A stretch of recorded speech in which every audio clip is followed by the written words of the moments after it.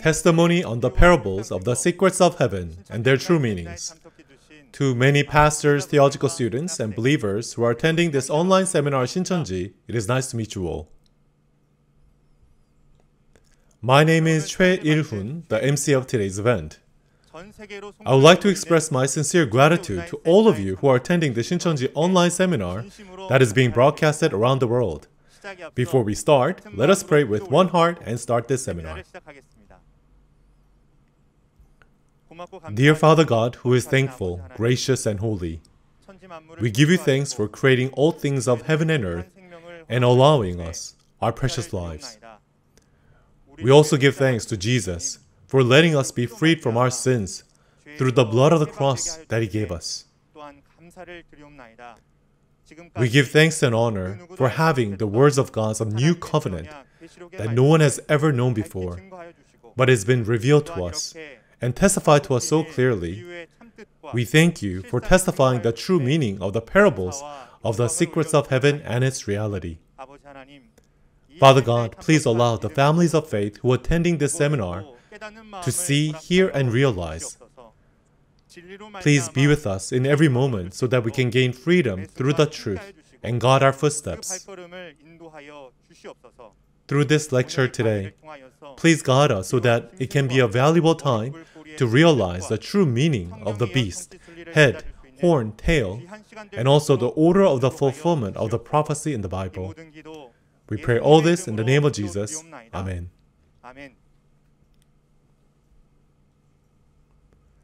We would like to inform you that this seminar, which is being held online, is strictly complying with the quarantine rules and social distancing.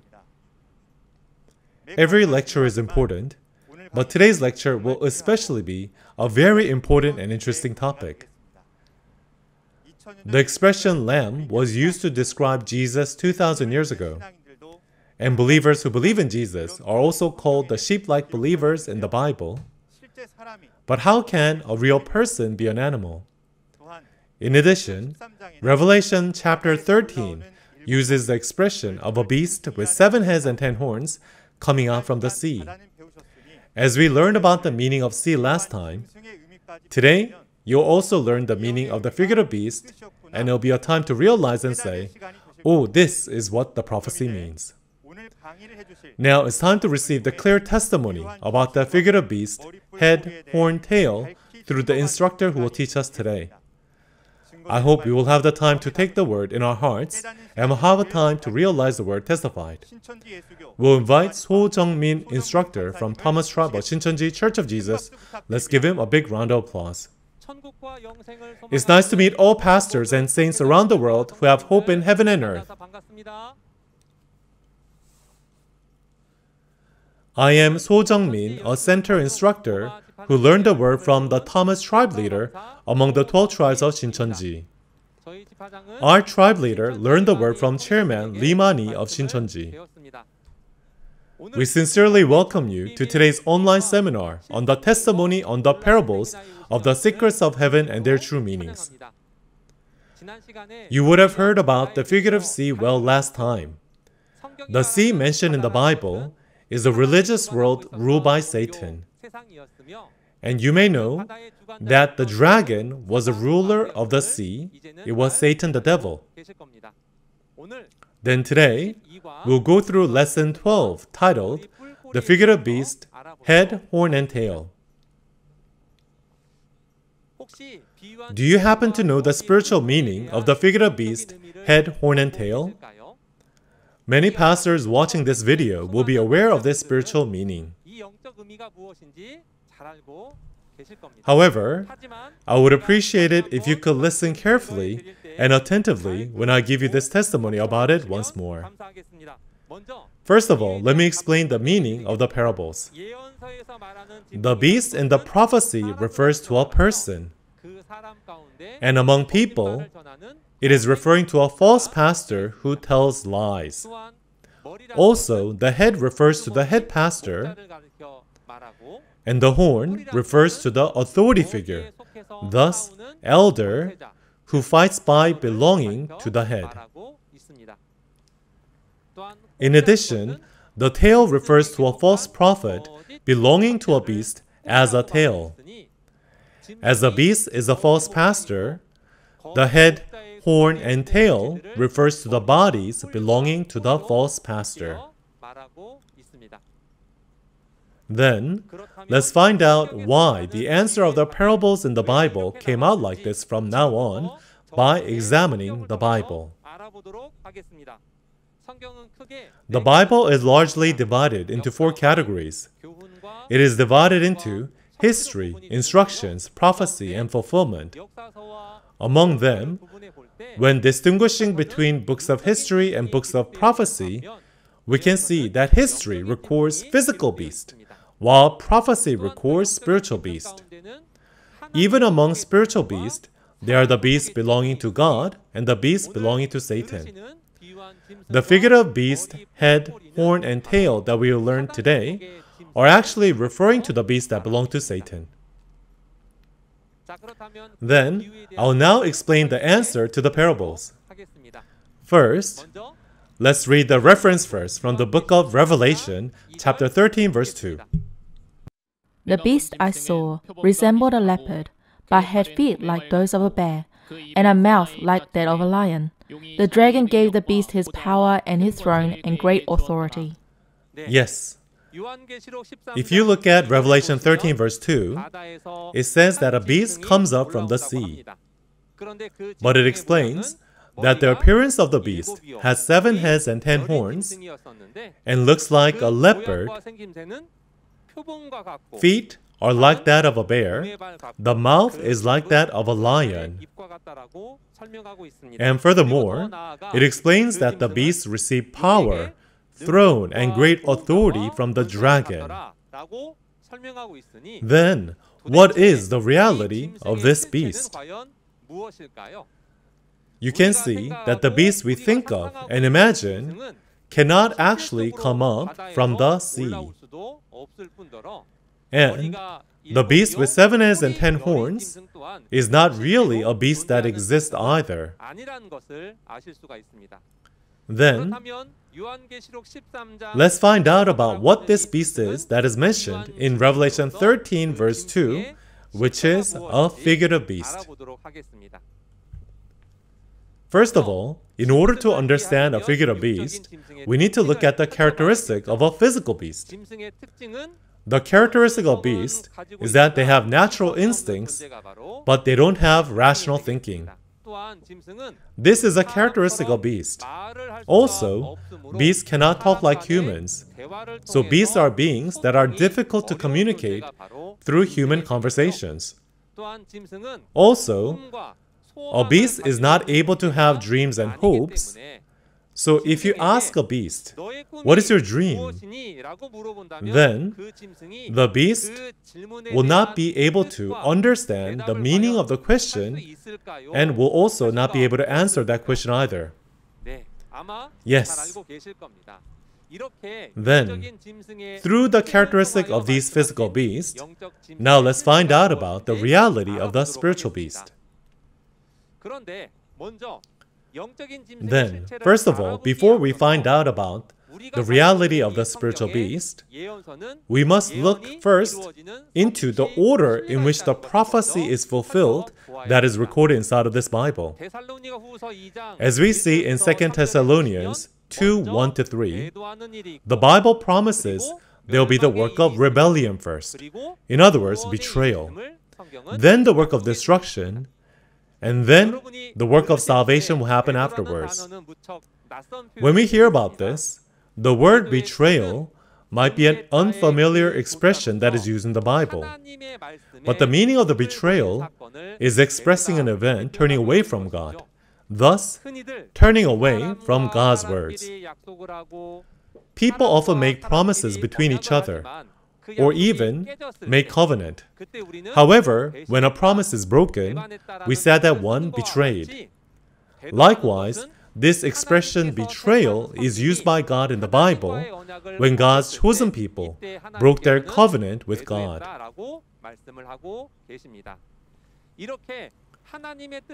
Now, these chosen people who broke the covenant, God will not leave them, but Through the Gentiles, God destroys them as they violated God's will. And also, through the work of salvation, which is a way for the chosen people to be saved through the Savior who comes to rescue them, is the order of fulfilling all the prophecies recorded in the Bible. Then, if the prophecy is fulfilled in the order of betrayal, destruction, salvation, then there must be a betrayer who does the act of betrayal, the destroyer who does the act of destruction, and the Savior who does the act of salvation. Therefore, all the beasts that appears in the prophecy are referring to the people. A beast that is likened to a betrayer who does the act of betrayal will appear. A beast that is likened to a destroyer who does the act of destruction will appear. And a beast that is likened to a savior who does the act of salvation will appear. At this time, we should be able to accurately distinguish between the betrayer, destroyer, and savior through the words of the Bible. But would it be easy to distinguish the betrayer, destroyer, and savior simply with their outer appearance? Yes, you're right. It is not easy to distinguish through outer appearance. Also, among the betrayer, destroyer, savior, who is the one we should meet? Yes, we must meet the Savior. Then, when these three entities appear, what will be the way for us to distinguish them? So, these three beasts, the betrayer, destroyer, savior, which is likened to a beast, there's a way to distinguish them. And that way of distinguish them is through the order of the fulfillment of the prophecy and the actions of each person. Then, let's find out about the order of what the beast of betrayal does, what the beast of destruction does, and also what the beast of salvation does. First of all, there's a beast that symbolizes the betrayer, and this is a being that used to belong to God, but now belongs to Satan the devil. So it is someone who changed whom it belongs to. When we see Matthew 7 verse 6, it says, Do not give what is sacred and pearls to dogs and pigs.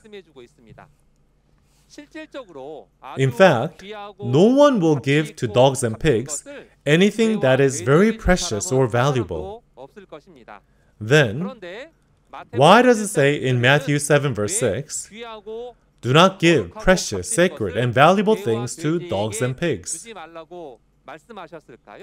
The reason is, is because the precious and valuable things, although it is given to the dogs and pigs, the dogs and pigs will not know the value of it. Rather, it will harm those who give those precious things. Such entities are dogs and pigs. Then this dog and pig, if it is a figurative beast, then what is it actually referring to? In order to find that out, let's have a look at 2 Peter chapter 2, 20 to 22. If they have escaped the corruption of the world by knowing our Lord and Savior Jesus Christ, and are again entangled in it and overcome, they are worse off at the end than they were at the beginning. It would have been better for them not to have known the way of righteousness than to have known it and then to turn their backs on the sacred command that was passed on to them. Of them, the proverbs are true. A dog returns to its vomit, and a sow that is washed goes back to her wallowing in the mud. Yes. As we look at 2 Peter 2, verse 20 to 22, we see that the people who escape from the corruption of the world, they believe in Jesus. But these people, although they received the sacred commands of Jesus, they abandoned it. So these people are referred, as it says, the proverbs have become true. The dog returns to his vomit, and a sow that is washed goes back to her wallowing in the mud, is what it says. So these people who abandon the Word of God inside of the Bible are expressed as dogs and pigs. Therefore, to the betrayers, do not give what is precious and valuable, such things as the Word of God. The reason why was because they do not know the value of God's precious words, and not only that, they will even harm the people who gave these precious things, the Word of God, to them. And also, What other animals would there be to describe the betrayer? As we see in Matthew 15, verse 24, Jesus said he was only sent to the lost sheep, not anywhere else. Now, the content of these words, this is when Jesus, as he was passing by the land of Duro and Sidon, there was a Canaanite woman who came to beg for her daughter to be healed because the daughter was being possessed by a vicious demon. This is the content of Matthew 15. At this time, Jesus said, I was only sent to the lost sheep of Israel, only to the lost sheep. So therefore, what does it mean by lost sheep here? Seeing how it says lost sheep, then it means originally there was an owner, but right now there is no owner. The chosen people that God chose, God selected, as they broke God's covenant, God left them, and it became a state where there's no owner. Therefore, these such betrayers are being called as a lost sheep. So when Jesus said he came only to the lost sheep, the reason why is because Jesus, who is the Savior, he came in order to save the betrayers. So as we summarize, the figurative dog, pig, lost sheep is referring to a person who abandoned the word of God, a betrayer.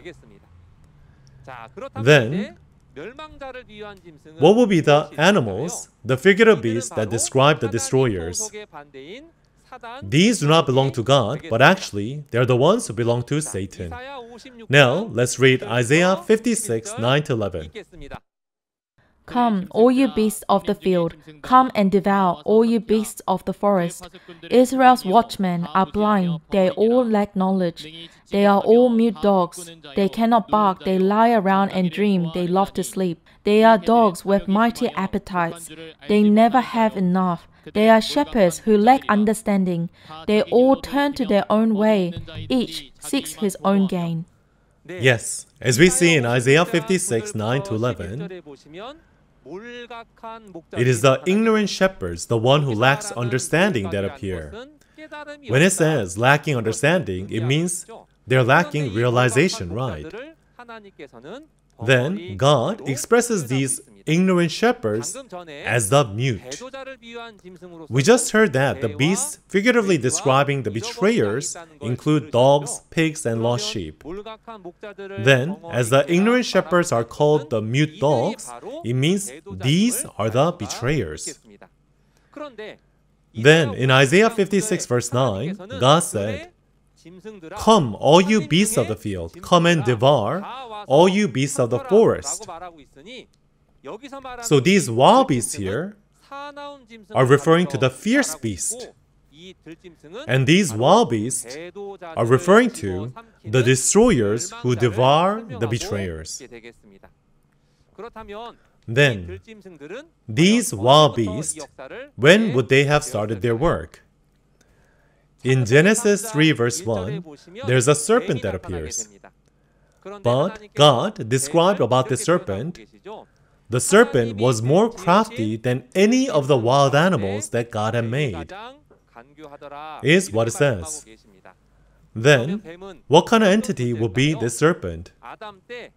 This serpent was the entity that deceived Adam and Eve at the time of Adam.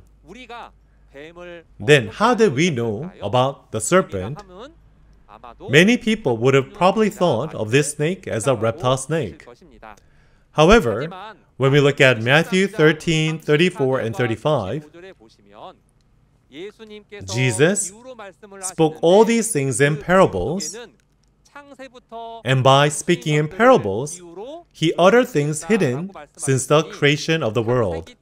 So therefore, the, the event happened since the creation of the world in Genesis. It means there are many secrets hidden inside at that time. So the serpent that appeared in Genesis is not actually a reptile snake, but actually it is a figurative snake, which is explaining about the destroyers.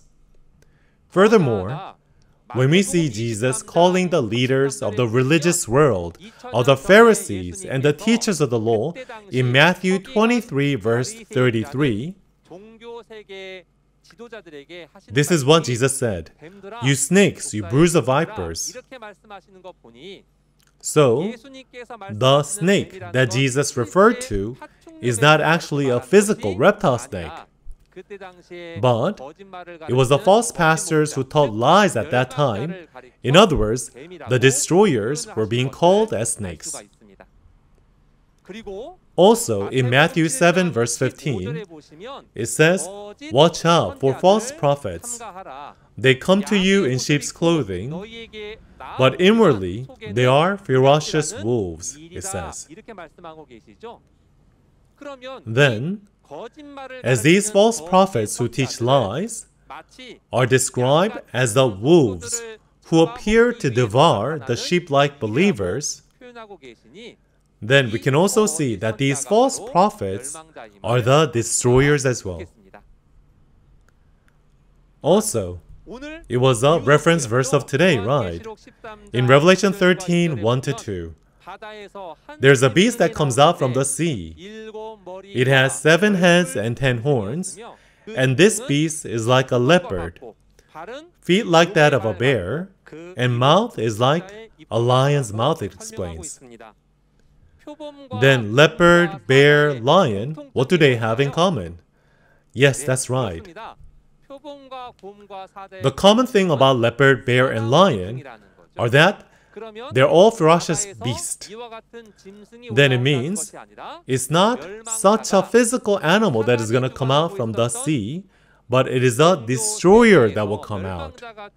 In other words, the destroyer that will appear from the religious world ruled by Satan is what Revelation 13 is prophesying.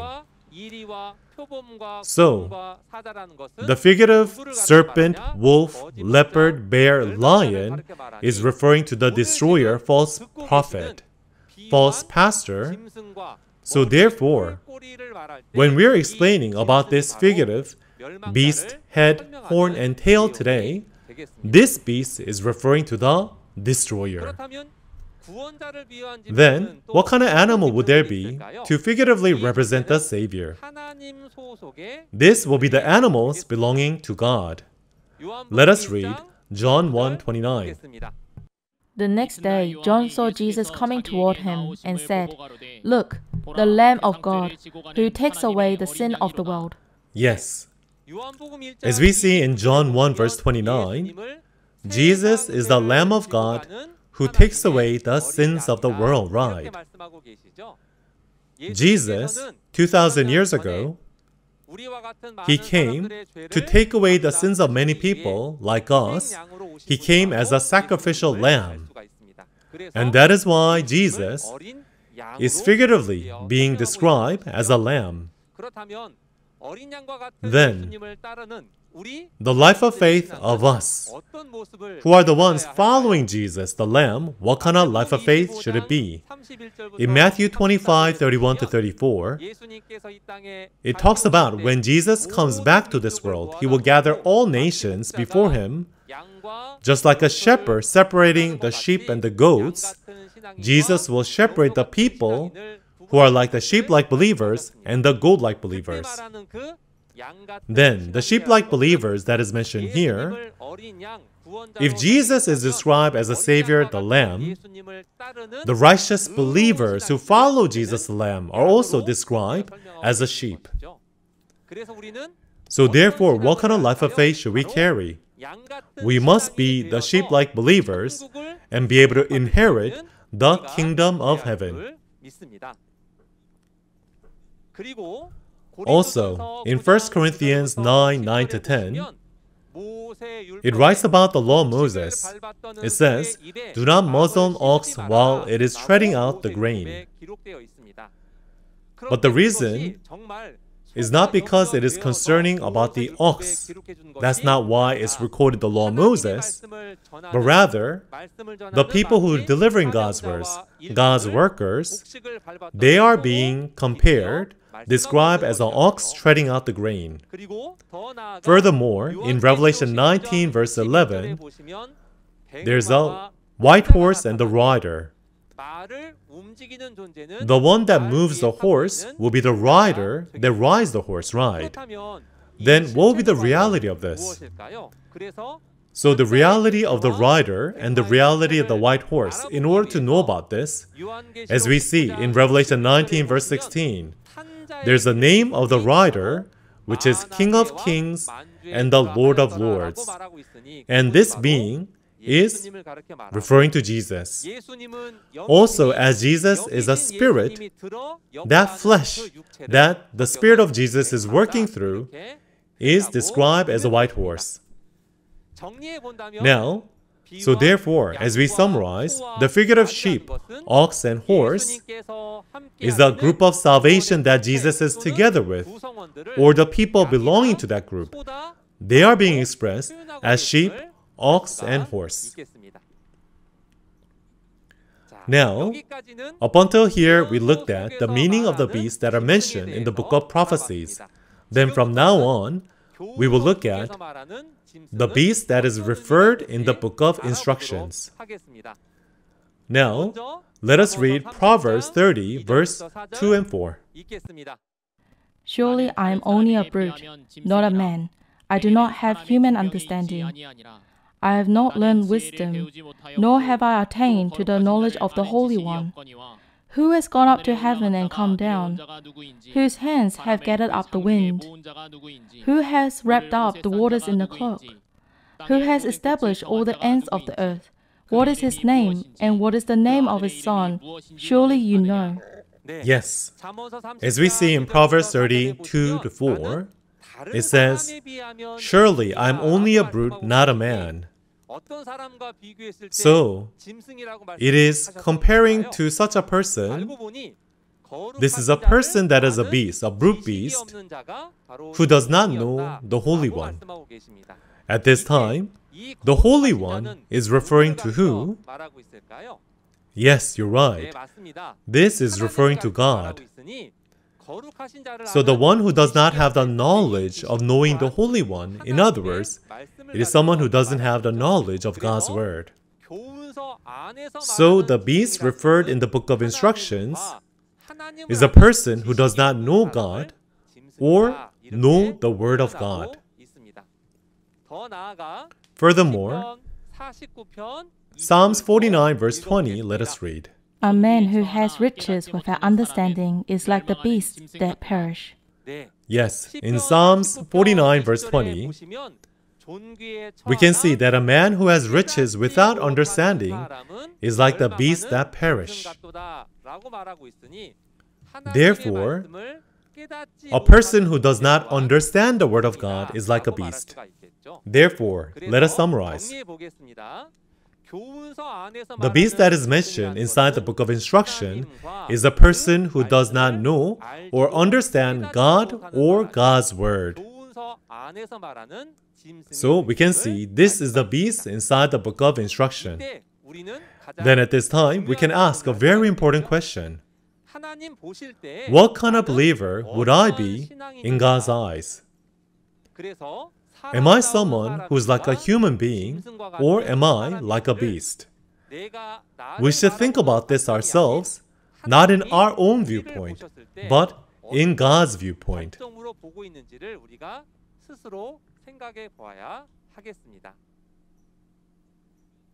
Then, so far, as we have learned about the meaning of the figurative beast, now let us learn about the figurative head.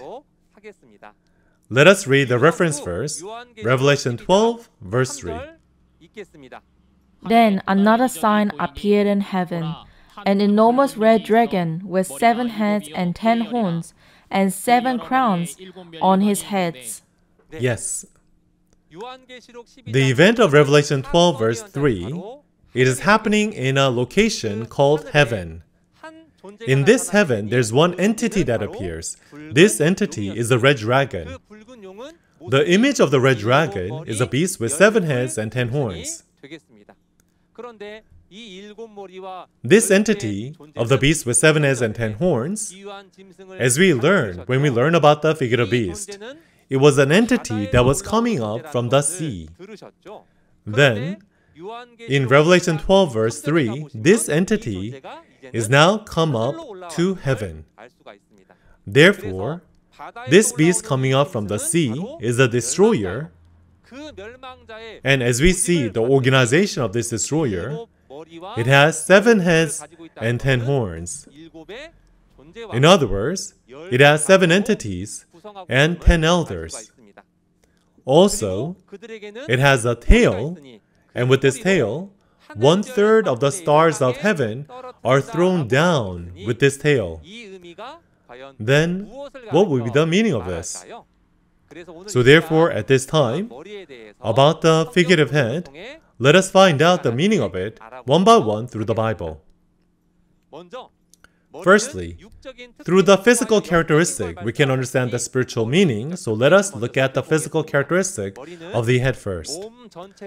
Head plays a role in controlling and governing the entire body. Then, even the spiritual head will play a role in governing like this. Therefore, let us read the words of Isaiah 29 9 10. Be stunned and amazed, blind yourselves and be sightless. Be drunk, but not from wine, stagger, but not from beer. The Lord has brought over you a deep sleep. He has sealed your eyes, the prophets. He has covered your heads, the seers. Yes, as we see in Isaiah 29 9 to 10, there's an entity that is staggering. Then, as we can see, this is someone staggering, we may think, oh, this is someone who's drunk. But actually, the reason why this person is staggering is because God has covered their eyes and heads, is what it says. Then, what will be the eye and head that is referred here? Eye is a prophet, head is a seer. So the head, it is referring to the pastor who delivers the word of God. Therefore, if our congregation members are compared as a body, the one who guides that body to the righteous way, who would it be? Yes, it will be the many pastors who's watching this video.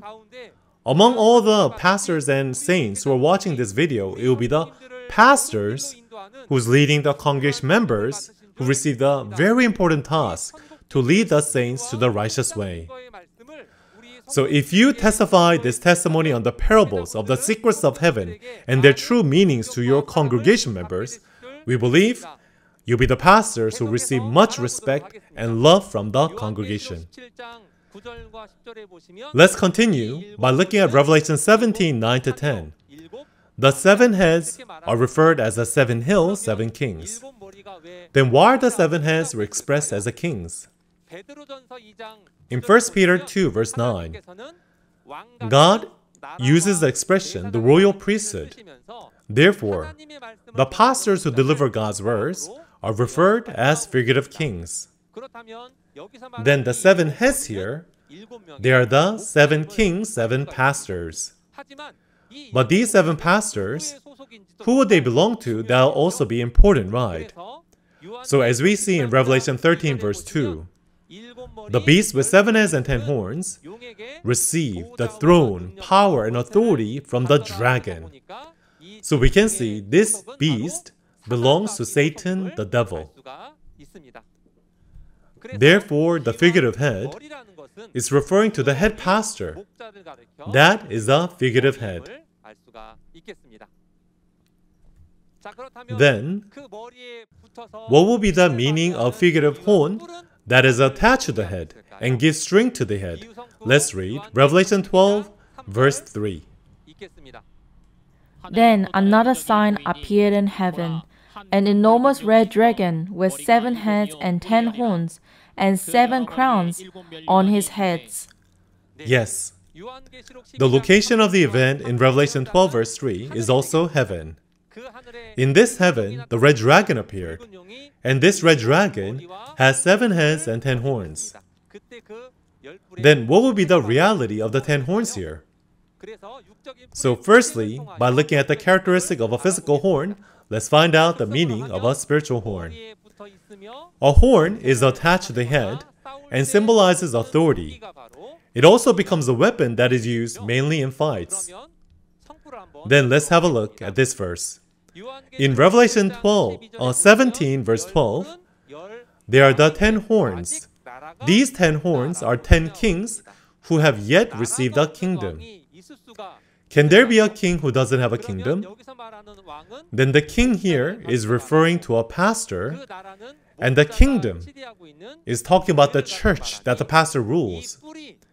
This horn is a king, but doesn't have its own kingdom, meaning it has power like a pastor. But although it is such an authority figure, it doesn't have its own church. Therefore, the figurative horn inside the Bible is an authority figure who belongs and fights for the head, thus someone like an elder.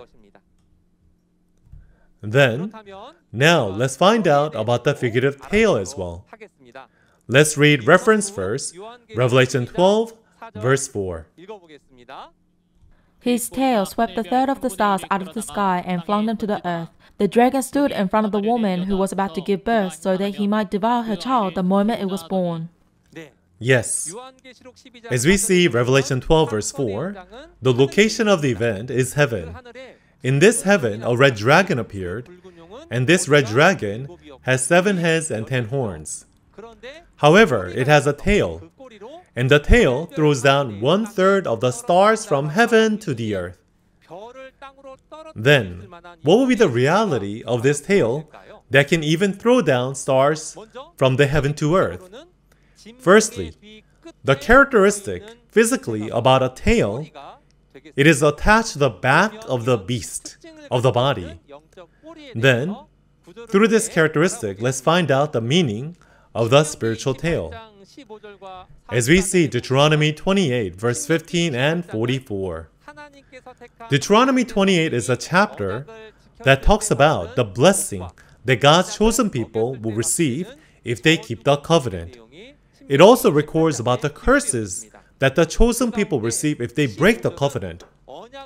Among this content, verse 15 records about the curse the chosen people receive if they break the covenant. And verse 44 says, A person will not be the head, but be the tail. Then, what will be the meaning of the tail here? So, let's read Isaiah 9 14 till 16. So the Lord will cut off from Israel both head and tail, both palm branch and reed in a single day. The elders and prominent men are the head. The prophets who teach lies are their tail. Those who guide his people mislead them, and those who are guided are led astray. Yes.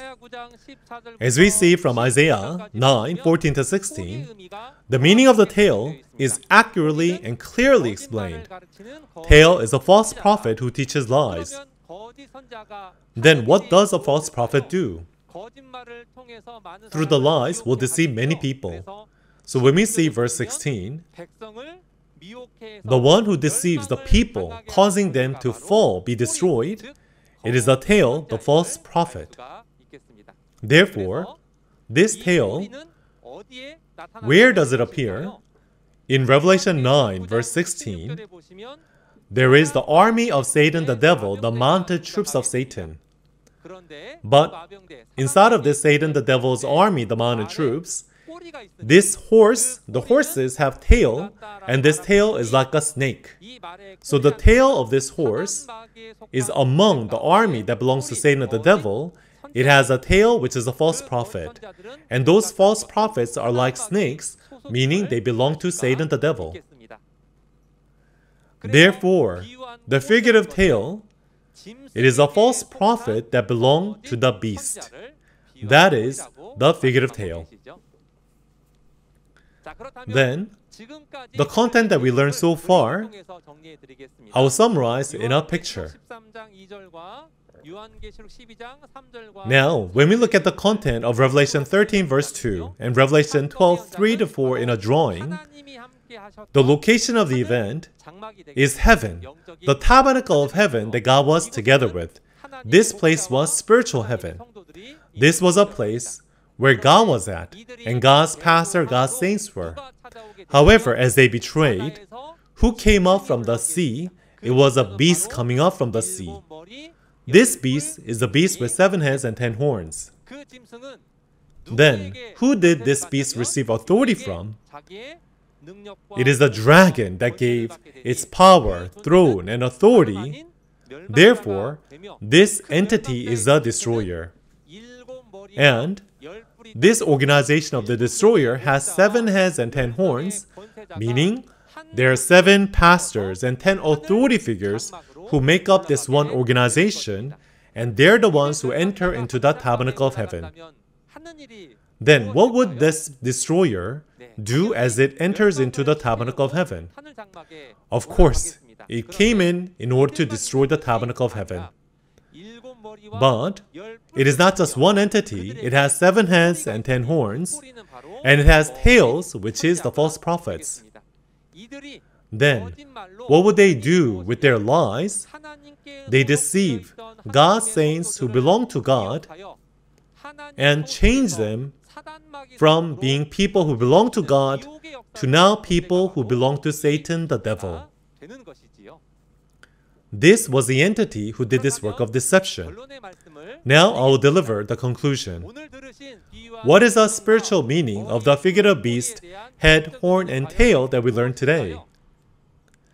Beast is referring to a person, but the person in today's reference verse was a false pastor who teaches lies. Such a person is a beast in the Bible. Head refers to the head pastor. Among those false pastors, horn refers to the authority figure who belong to the head, thus elders. Tails is the false prophet who belonged to the beast. As the figurative beast is a false pastor, figurative head, horn, tail is also the bodies that belong to the false pastor. They are described as head, horn, and tail. Then, the prophecy of the Bible, when it becomes fulfilled and the physical reality appears, whether one is a betrayer, destroyer, savior, it cannot be known through the outer appearance. So, therefore, according to the order of the fulfillment of the word that is recorded, we're able to realize and understand. So, therefore, we must follow this word, discern, see, and believe. Today, we learned Lesson 12, the figure of beast, and head, horn, and tail. Next time, we will learn about Lesson 13, the blood and flesh of the Lamb. The instructor who will deliver the word next time will be even more skilled, competent, and more fun in explaining and delivering the word. We may have different denominations and affiliations. However, we are one in God and Jesus. I'll shout out, We are one. And by that, let's complete today's lesson. We are one. Let us pray together. Dear loving and graceful Father God, who is full of mercy, we thank you for guiding us to the online seminar today of the testimony on the parables of the secrets of heaven and their true meanings. This era that we are living today, we believe it is a time of the fulfillment of the prophecy of Revelation, the second coming of the Lord. When the reality of the secret of heaven is revealed in front of us, please allow us to be the many pastors and saints who can see and believe in the fulfillment. Our pastors, whom Father God you love, we pray that they will be able to see, hear, and understand the word and lead many saints to the righteous and proper way through your grace. I pray all this in the name of Jesus, who is full of love. Amen. Thank you so much for watching until the end.